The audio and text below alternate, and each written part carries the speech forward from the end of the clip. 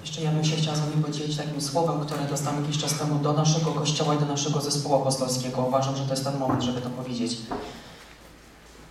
To jest czas, kiedy niektórzy z Was, którzy biegliście bardzo wolno, przyspieszycie. Ale to też jest czas, że niektórzy z Was, którzy byliście z przodu i e, z przodu tej sztafety, biegliście bardzo szybko, możecie spowolnić.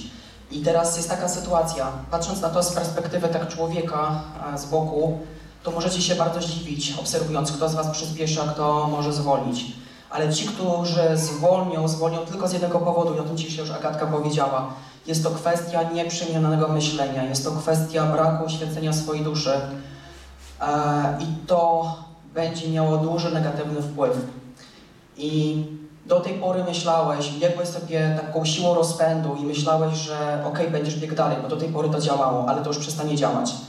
Bo zrozum to, że nieprzemienione myślenie, brak uświęcenia jest dla Ciebie balastem, który powoduje, że biegniesz coraz wolniej.